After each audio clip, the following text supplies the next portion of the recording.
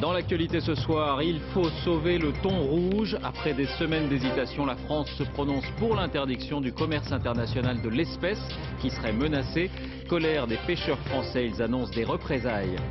Les dernières révélations sur les revenus d'Henri Proglio à la tête d'EDF. Le PDG a renoncé à son salaire à Veolia, mais il a fait valoir ses droits à la retraite. Il touchera 1 million d'euros par an en plus de sa rémunération à EDF. Un document sur la schizophrénie, trois jours après un drame dans le RER. Nous revenons sur cette maladie mentale qui peut parfois très mal tourner. Nous avons suivi un malade en traitement, c'est le dossier de cette édition. La montée des tensions entre les États-Unis et la Chine. Après les livraisons d'armes à Taïwan, Barack Obama affirme qu'il va rencontrer le Dalai Lama. Pékin menace, c'est l'escalade verbale. On sera en direct à Washington. L'ouverture la semaine prochaine déjà des Jeux Olympiques d'hiver à Vancouver. La ville promet des Jeux écologiques, mais la neige manque. Elle est amenée par camion. Visite des sites à la fin de ce journal. Et puis le théâtre en deuil, on a appris cet après-midi la mort du comédien et metteur en scène George Wilson. Il avait 88 ans.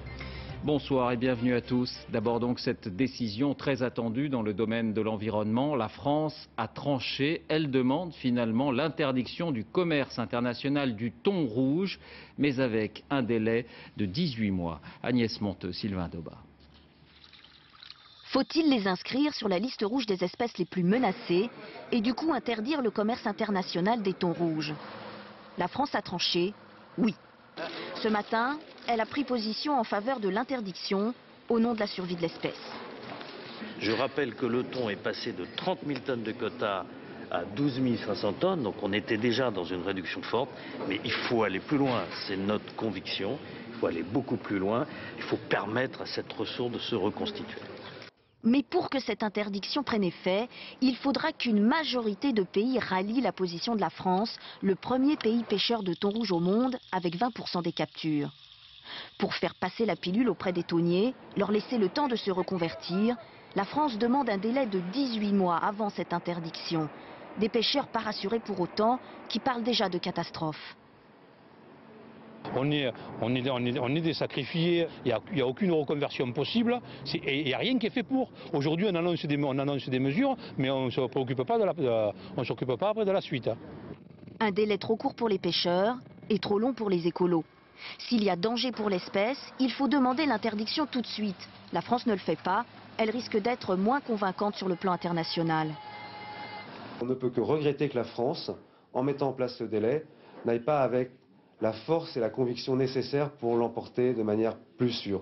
Interdiction ou pas, tonniers et écologistes sont suspendus à une réunion internationale qui doit se tenir dans un mois au Qatar. Et on s'arrête un instant sur cette espèce du thon rouge qui mobilise, vous l'avez compris, les associations depuis des années. Y a-t-il vraiment risque de disparition? Quel est le rôle du Japon? Quel est exactement le thon que l'on sert dans les restaurants aujourd'hui? Pour démêler le vrai du faux, Gilles Marinet, Mathieu Drejoux.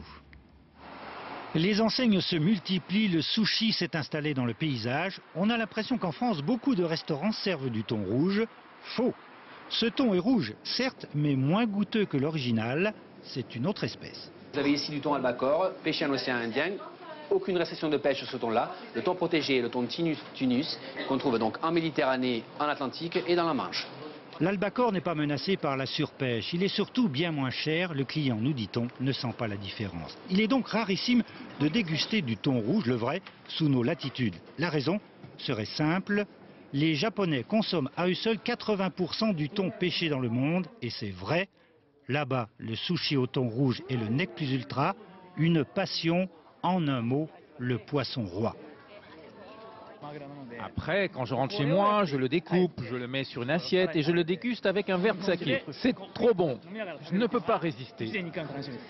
Les deux tiers des thons pêchés en Méditerranée se vendent sur les étals japonais à des prix qui donnent le tournis, plusieurs milliers d'euros par poisson. De quoi inciter les pêcheurs de certains pays à dépasser les quotas obligatoires, à puiser abusivement dans la réserve. L'espèce est menacée en Méditerranée, c'est vrai, capturés trop jeunes, une partie des thons n'ont pas le temps de se reproduire. Résultat, le stock de thon rouge en Méditerranée a diminué de 74% depuis 1957. Une étude réalisée par les scientifiques français de l'IFREMER, les organisations écologistes, elles, en tirent une conclusion, l'espèce pourrait très vite disparaître. L'économie, faut-il s'attendre à une relance de ce que l'on a appelé l'affaire Proglio? Face aux protestations, le nouveau PDG d'EDF a renoncé, vous le savez, à son double salaire. Il ne sera plus rémunéré par Veolia. Mais le journal Le Parisien révèle ce matin qu'il a fait valoir ses droits à la retraite dans cette entreprise. Il touchera bien finalement un million de revenus par an, en plus de sa rémunération versée par EDF. Fabien Chadeau, Pascal Caron. C'était il y a deux semaines. Henri Proglio renonçait à 450 000 euros par an perçus pour ses fonctions au sein du groupe Veolia. Il pensait ainsi mettre un terme à la polémique sur sa double rémunération. Erreur, car on apprend qu'il va cumuler son salaire de patron d'EDF avec sa retraite d'ancien dirigeant de Veolia. Ses 38 ans d'ancienneté lui donnent droit à une pension supérieure à 1 million d'euros. Un pactole constitué d'un plan épargne pour lequel il a cotisé pendant toute sa carrière et de deux retraites chapeau négociées avec son employeur. À cette retraite s'ajoute son salaire de patron d'EDF, soit 2 600 000 euros de revenus par an, un montant que les socialistes jugent indécent. Ils ont dû complètement oublier que le salaire moyen dans ce pays était à 1800 euros ou 1900, il est dans ces eaux-là. Donc j'ai envie, en retenant, en me retenant, de dire ils ont pété les plombs. Et il va falloir quand même, d'une manière ou d'une autre, recadrer les choses. Ce matin encore, le gouvernement prenait la défense de celui qui a travaillé près de quatre décennies chez Veolia. Euh, je comprends que le montant euh, puisse paraître élevé pour un certain nombre de nos euh, concitoyens, mais il faut avoir en tête qu'Henri Proglio, il a consacré sa vie professionnelle à cette entreprise. Cumuler emploi et retraite est légal depuis mars 2009. Henri Proglio est le premier grand patron à utiliser cette souplesse de la loi. Toujours à propos d'économie, les suites du débat sur le décret concernant le statut des fonctionnaires, on l'évoquait hier, il concerne la mobilité dans la fonction publique. Les syndicats y voient la porte ouverte à des licenciements, comme dans le privé. La CFDT parle même de provocation. Le gouvernement s'en défend, il évoque un mauvais procès. Romain Messi, Emmanuel Morel, avec notre bureau à Lille. Si on marque tous les débuts, enseignants, magistrats ou agents des impôts, tous fonctionnaires d'État et visés par un décret qui fait polémique. Est-ce la fin de la sécurité de l'emploi? Le décret découle d'une loi sur la mobilité des fonctionnaires votée l'été dernier et pose de nouvelles ah limites. Dorénavant, un fonctionnaire qui n'a plus d'affectation se verra proposer trois postes. Trois refus entraîneront une mise en disponibilité, en clair, plus de travail et plus de salaire. Un licenciement effectif ne pourra intervenir qu'après trois nouvelles propositions et trois refus supplémentaires. La possibilité d'un licenciement existait déjà dans la loi de 1984, mais n'était jamais appliquée. Pour la majorité, ce nouveau décret pourrait mettre un terme à certaines aberrations. On a des fonctionnaires, notamment dans la fonction publique territoriale, euh, qui, ont été mis en disponibilité pendant 10 ans, 12 ans, 15 ans. Dans la région parisienne, on a 19 ans, donc qui n'acceptaient aucune proposition. Quelles sont les garanties pour les fonctionnaires? Le gouvernement affirme que la loi ne fragilise pas leur statut. Le texte dit que l'offre d'emploi pour un fonctionnaire tient compte de sa situation de famille et de son lieu de résidence habituel. Reste la question des compétences qui fait débat. Moi je suis enseignante, euh, on pourrait me proposer d'aller dans un commissariat de police ou dans un tribunal. C'est pas mon métier, c'est pas ma compétence, je sais pas faire ça. La mesure est-elle définitive? Le Conseil supérieur de la fonction publique se réunira le 11 février prochain, mais son avis est purement consultatif. Selon Bercy, le décret pourrait donc s'appliquer dès le mois d'avril. D'ici là, les syndicats espèrent trouver la manière de le faire changer d'avis. le débat ne fait que commencer. Alors question, quelle est la situation chez nos voisins? Bonsoir François Baudonnet, vous êtes en direct de Bruxelles. La garantie de l'emploi pour les fonctionnaires est-elle en Europe l'exception ou la règle? Eh bien, disons que ça a plutôt tendance à devenir l'exception. En fait, il y a deux catégories de pays en Europe. Chez certains euh, de nos voisins européens, comme en Grande-Bretagne par exemple, ou en Finlande, eh bien, que vous soyez fonctionnaire ou salarié du privé, eh bien, finalement, ça ne change pas grand-chose pour vous, parce que dans les deux cas, eh bien, vous pouvez être licencié. Dans ces pays, on ne fait pas carrière dans la fonction publique. Euh, ce n'est pas un objectif de vie. On y entre parce qu'on a des compétences particulières.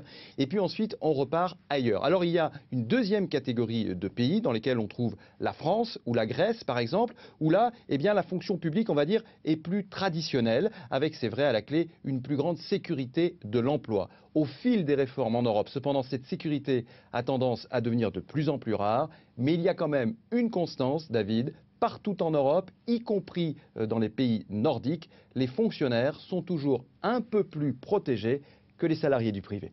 François Baudonnet à Bruxelles. Merci François pour ces précisions.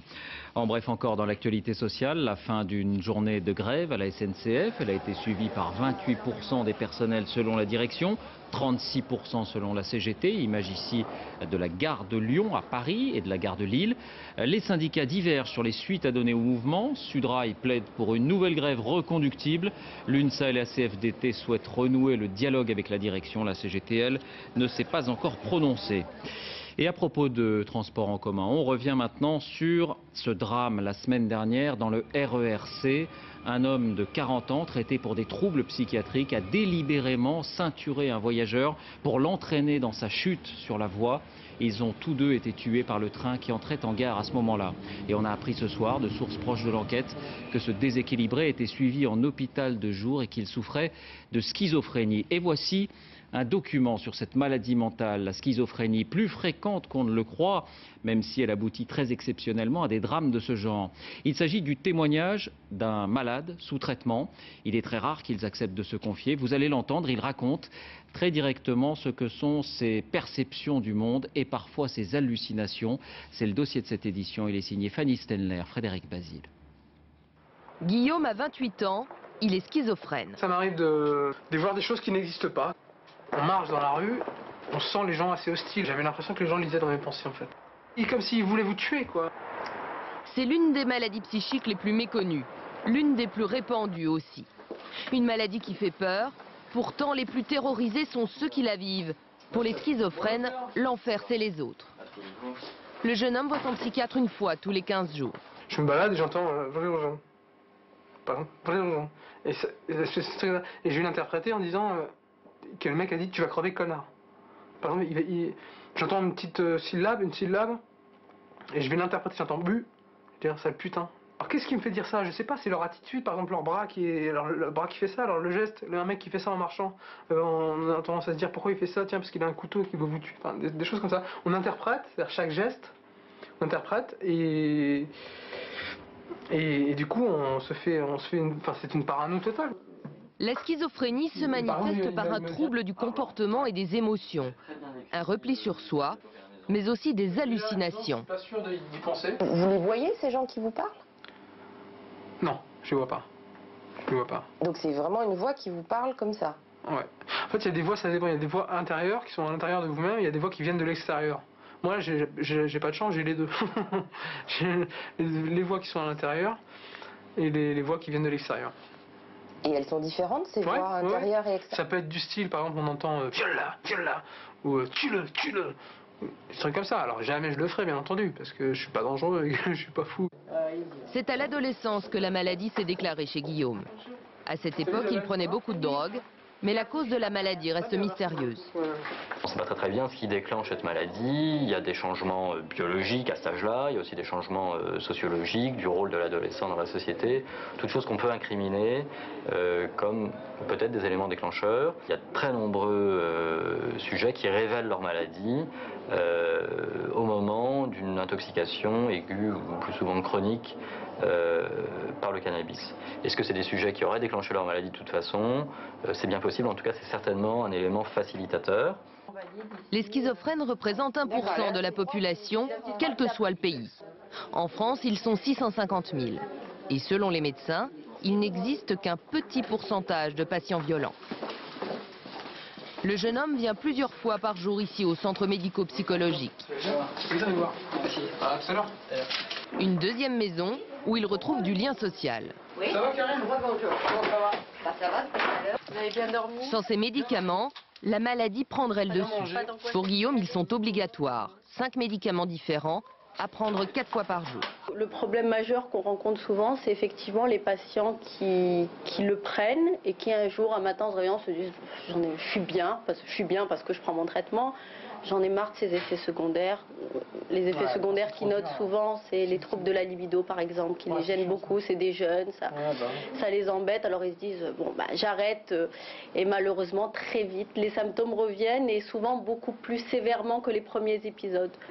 L'arrêt du traitement, c'est la hantise pour ses parents. Il est grand, je peux pas non plus surveiller ses médicaments tous les jours. Pour faire face à la maladie, ils se sont réunis en association. Il faut dédramatiser cette maladie. C'est comme ça qu'on avancera les choses. Parce que les gens préfèrent taire leurs problèmes, cacher leur fils ou leur fille. Ce père a vu son fils ingénieur de 22 ans basculer dans la schizophrénie. Héberger, qu'est-ce qu'on a fait, qu'est-ce qu'on n'a pas fait pour qu'il soit là, qu'il en arrive là et qu'on nous dise il ne sera plus jamais heureux. C'est insupportable pour des parents. Françoise Prévost fait partie de celles qui animent ces réunions. Son fils de 36 ans est schizophrène. Elle a connu toutes les épreuves de la maladie et les problèmes d'hospitalisation. On aurait pu éviter euh, quelques-unes des hospitalisations euh, sous contrainte qu'a eu mon fils, euh, parce que j'avais signalé déjà qu'il commençait à pas aller bien, que les médicaments étaient mal pris ou voire plus pris du tout. Ils ont des forces décuplées et donc je ne m'aventurerai pas à le traîner par la main pour, pour l'emmener. Donc j'attends. Et là, là c'est une prise de risque que je trouve inadmissible.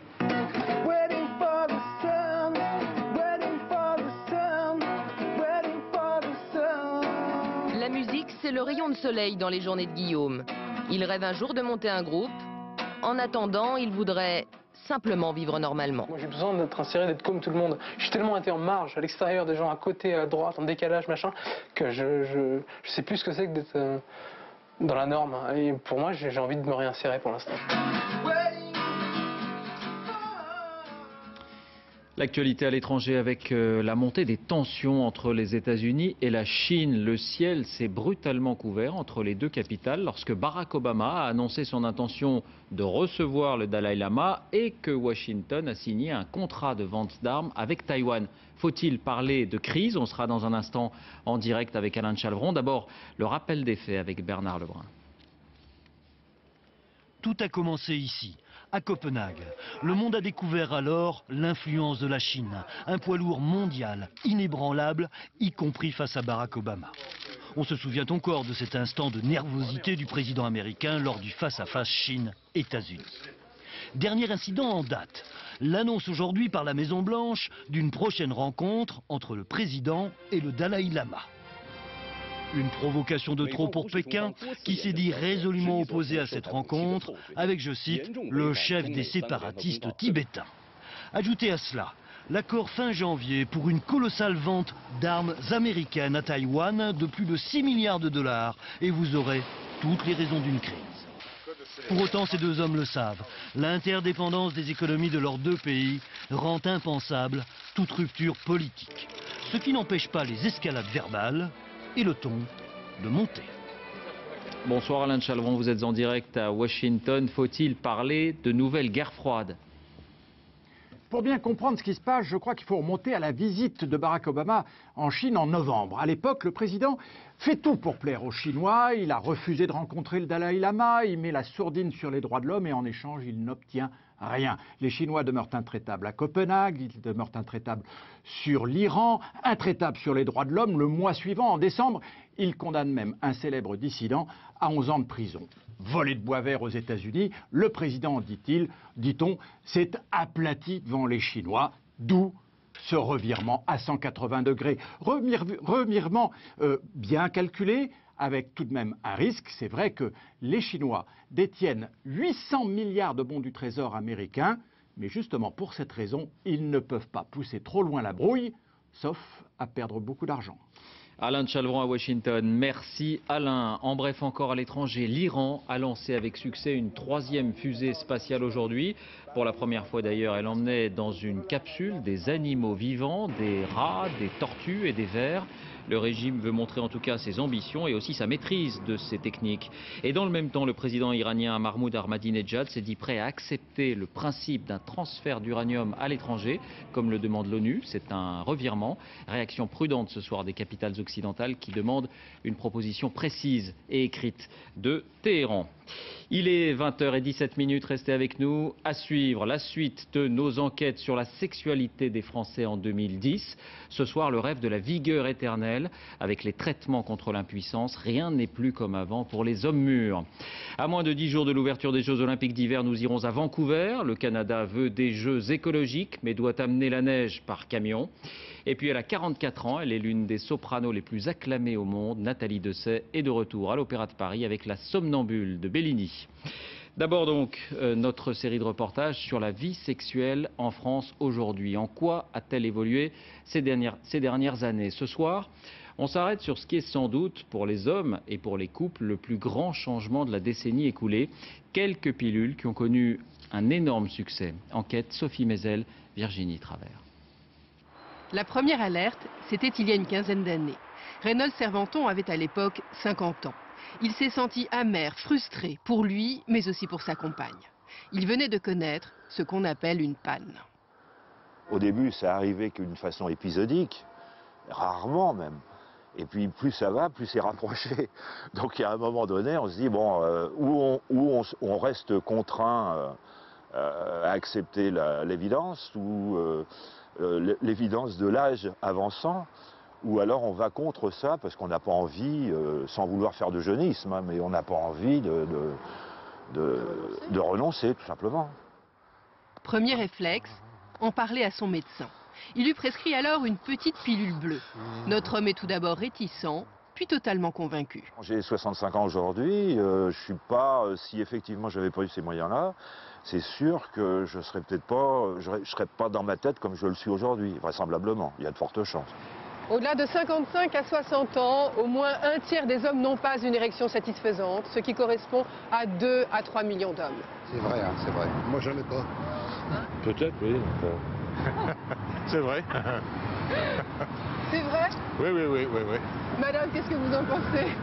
Ben, c'est normal, hein. Ça peut arriver. Faut pas le nier. Ça peut arriver, c'est pas, grave. Avec Cécile, tout allait bien. Jusqu'au jour où j'ai eu des problèmes d'érection. Alors, Même si le sujet est abordé pudiquement dans la pub, il reste encore dans la société largement tabou. Seul un homme sur quatre ayant des problèmes fréquents d'érection ose aujourd'hui consulter. à votre médecin. Perdre son érection, c'est dévalorisant. C'est aussi quelque chose qui est de l'ordre du silence à l'intérieur du couple. Parce que l'érection, c'est peut-être comme la, comment dirais-je, la légion d'honneur d'un homme. Et perdre sa légion d'honneur, c'est quelque chose de dévalorisant. Ça peut arriver à la suite d'un licenciement, d'un deuil, avec l'âge. Et pour les petites et les grandes pannes, il existe aujourd'hui des solutions radicales. Le monde a connu une révolution il y a un peu plus de 10 ans avec l'apparition du Viagra. Depuis, deux autres pilules sont apparues, le Levitra et le Cialis. Et ça marche puisque dans 80% des cas, les hommes ont à nouveau une érection. Ces trois pilules qui ne sont prescrites que sur ordonnance ont un défaut majeur, leur prix. Entre 10 et 15 euros le comprimé non remboursé. Et c'est le Cialis qui occupe aujourd'hui la première place du marché. Son effet dure 36 heures, là où les deux autres ne durent que 6 heures environ. Pour l'intellectuel Pascal Bruckner, ces petites pilules allègent la pression à laquelle les hommes se croient soumis, honorer leur compagne ou dépérir. L'abandon de la sexualité pour les hommes qui étaient frappés d'impuissance, c'était finalement le, renoncement à toutes sortes de plaisirs, bien au-delà du, du, plaisir physique lui-même. Il y a deux grands exemples littéraires, il y a Hemingway et Romain Gary qui se sont, dit-on, suicidés parce qu'ils avaient découvert l'impuissance et que donc la vie n'avait plus de saveur pour eux.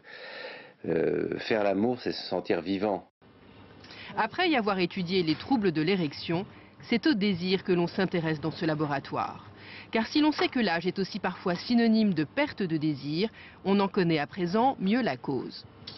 On connaît aujourd'hui un certain nombre de substances dans le cerveau qui participent à la fabrication en quelque sorte du désir chez l'homme et qui, lorsqu'ils sont déficients, pourraient être dans une certaine mesure remplacés par des médicaments.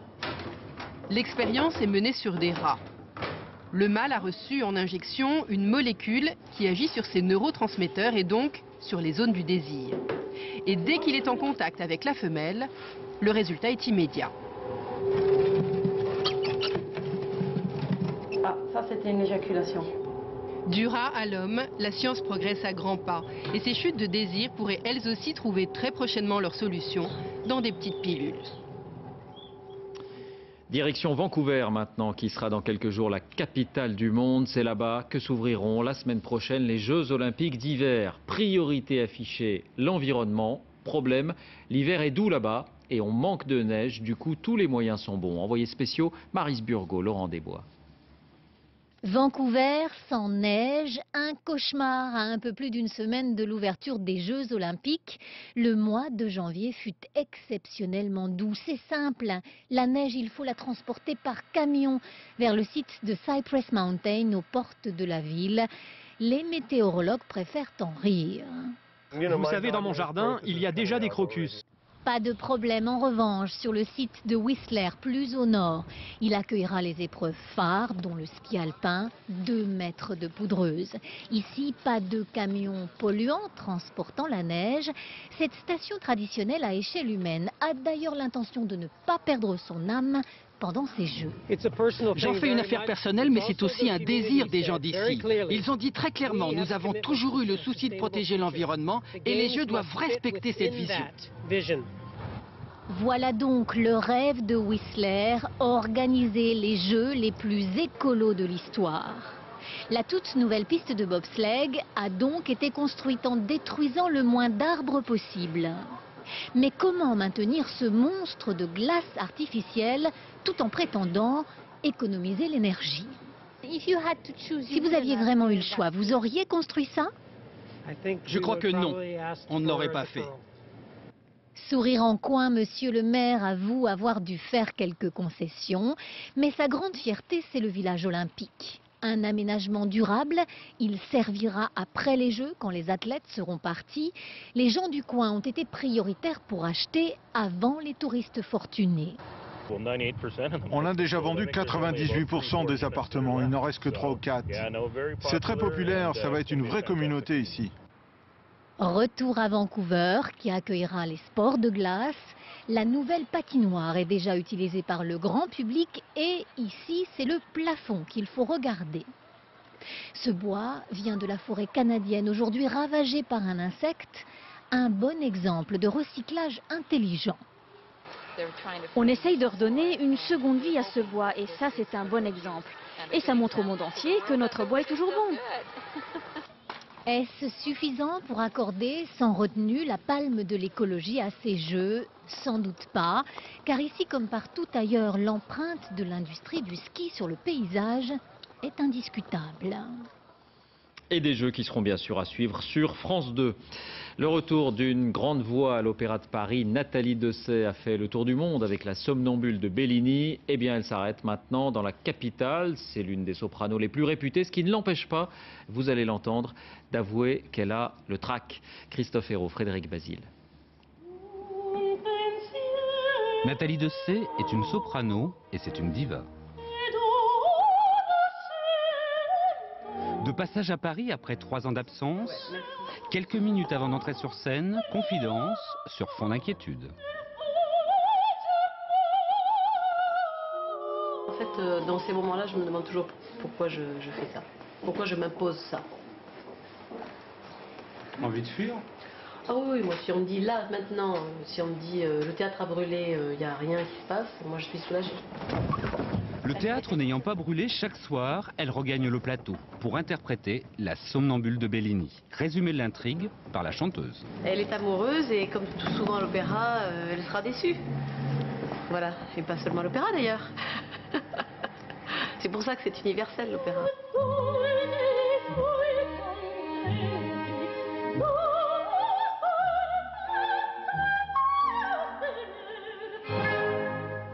Nathalie Dessay connaît bien cet opéra du bel canto, qu'elle interprète depuis 12 ans avec son complice et chef d'orchestre.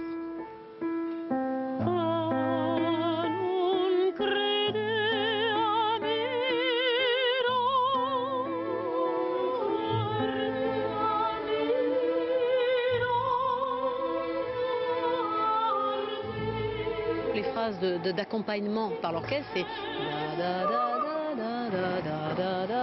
alors si on le fait comme ça, mais c'est chiant. On n'a pas envie d'écouter ça. Mais si on y met de l'âme, si on fait chaque note, il faut l'aimer. Voilà. Chaque note. Enfant, Nathalie Dessay rêvait d'être comédienne, mais elle possède l'une des plus belles voix du monde.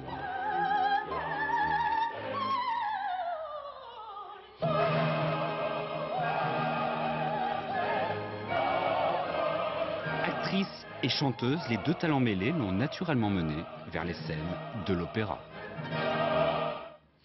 Je vous le disais en titre, on a appris cet après-midi la mort du comédien et metteur en scène George Wilson, grand nom du théâtre et du cinéma, disciple de Jean Villard. Il était aussi le père de Lambert Wilson. Antoine Gaveau, Sophie Jouve. George Wilson, une figure au panthéon des hommes de théâtre. ceci et me dire ce que vous en pensez? Acteur et metteur en scène formé à l'école du Théâtre National Populaire, Wilson a accompagné Jean Villard de Chaillot à Avignon. On avait 20 ans juste à la fin de la guerre et on était porteur d'une ouverture vers la poésie. Puis vient la rencontre avec Gérard Philippe, l'ami fidèle. George Wilson joue les maris, Philippe les amants. Dans le théâtre privé, l'acteur enchaîne les succès, comme dans son duo avec Jacques Dufilot. En 1989, il se lance dans le cinéma et dirige son fils Lambert dans La Vouivre. Plein jour George Wilson. Une belle vie de théâtre pour cette âme de baladin dans la lignée des grands ancêtres. Un mot de rugby, on connaît la composition du 15 de France qui affrontera l'Écosse pour le premier match du tournoi des Six Nations. À noter la réintégration de Mathieu Bastaro après sept mois de purgatoire. Il sera associé au centre à Yannick Josion, titularisation également de Benjamin Fall. Match à suivre en direct sur France 2, ce sera dimanche à 16h. Et puis une dernière image, elle vient de nous parvenir, celle du dîner annuel du CRIF, le Conseil représentatif des institutions juives de France, qui accueille ce soir Nicolas Sarkozy et François Fillon, entre autres. Thème affiché cette année, le refus du communautarisme.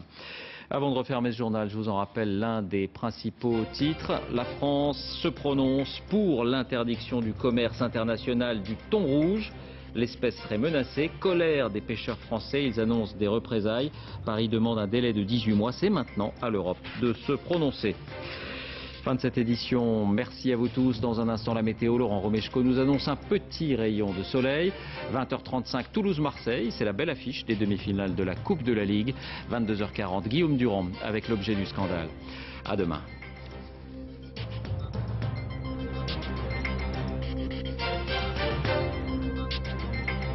L'info en continu, c'est aussi sur France2.fr.